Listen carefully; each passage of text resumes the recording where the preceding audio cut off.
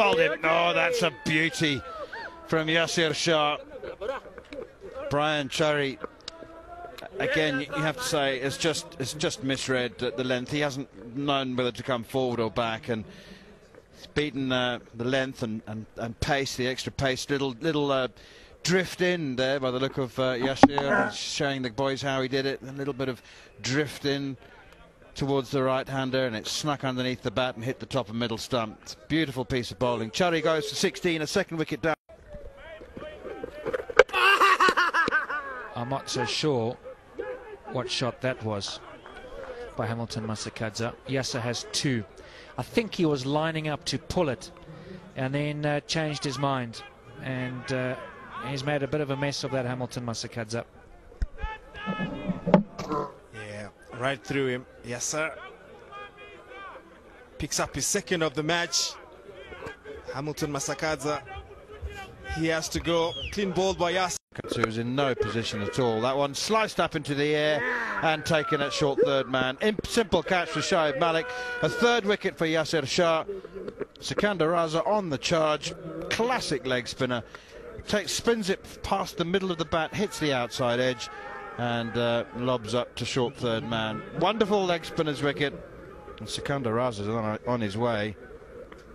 Zimbabwe slide further and further towards uh, defeat, and I, I, wonder at what point they'll settle for trying to avoid an ignominious defeat, try and just put some respectability in.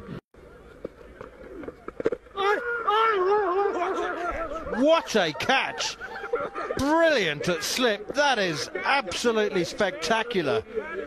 Wow. Yasir Shah takes uh, his fourth wicket. I'm just trying to see who the slip fielder was. That was absolutely outstanding, and that will make it into the highlights package. Believe me, Mohammed Hafeez. Well, goodness me. Diving away to his right, one-handed. Stunning. Stunning stuff.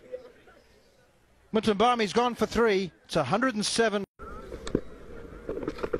Catch it! Yeah! Just as I say that, would you believe it?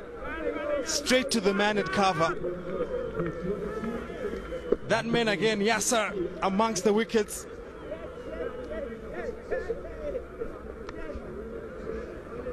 It's all over, I reckon.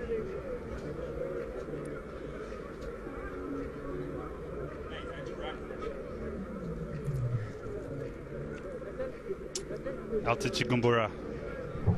Zimbabwe's last hope, trying to play that through the onside, a little bit of turn, gets the leading edge. Disappointment in the crowd. Hands on heads. Captain's gone, 22, 122. With these sort of conditions, this is their call at the end of the day. Yeah! Yeah! Is it given? Yes, that's it. Tinashe Panyangara the last wicket to fall. Six far for Yasir Shah. Five for 26. Thank you, sir. Oh, my apologies, my fruit machine is not updating. It's actually six for Yasir Shah. Excellent bowling in ODI cricket. That's just come off the glove. And a very easy catch and an easy day's work for Pakistan. It was difficult in the beginning when they struggled to score.